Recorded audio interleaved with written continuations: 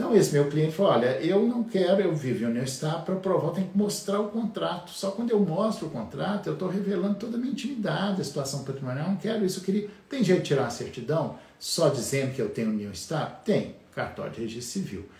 Eu sou um pouco resistente a isso, porque isso aí você tá, é como se fosse um casamento. Então, por que, que não casa? Né? Porque qual é a diferença entre casamento e união estável hoje, basicamente? Não tem quase nenhuma. Mas tem uma que é fundamental, que está ainda em efervescência esse pensamento, embora a maioria da doutrina considere que seja herdeiro necessário.